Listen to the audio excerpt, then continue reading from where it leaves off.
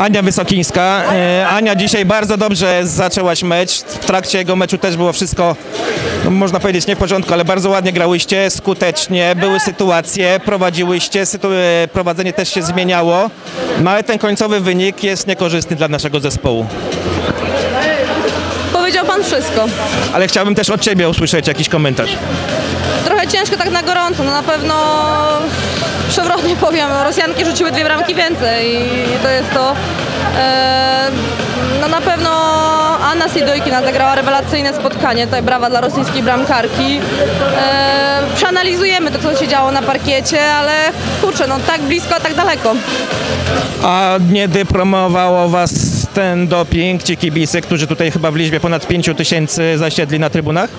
Nie wiem jak dziewczyny, ja prawdę powiedziawszy czułam się jak w domu, jeszcze wyszłam, zobaczyłam flagę z podpisem Wołgograd.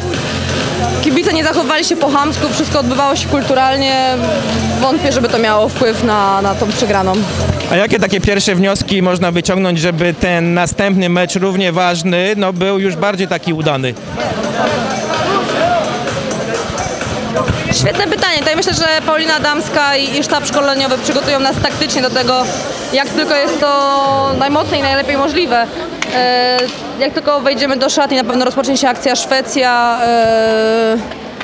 No i jutro zdecyduję po prostu to, nie oszukujmy się, obydwie drużyny będą chciały bardzo, bardzo mocno wygrać te mecze i, i przejść dalej. E, jutro zdecyduje to, która z tych drużyn zrobi jeden bunt mniej. A jak się fizycznie czujecie po tak trudnym meczu? No ja mogę odpowiadać za siebie, nie, nie, nie, nie grałam e, całego meczu, na pewno było to wyczerpujące, tutaj mecz był bardzo szybki, mógł się na pewno podobać kibicom, Rosjanki, e, ale i my również grałyśmy piłkę za piłkę.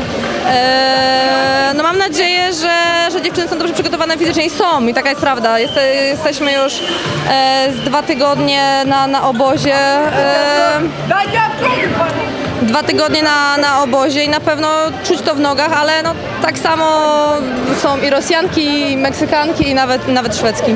A w Twoim przypadku na co zwracałaś uwagę przed meczem z Rosją? Co właśnie mówimy o taktyce. Na, O, o rzuty właśnie tych Rosjanek. na rzuty?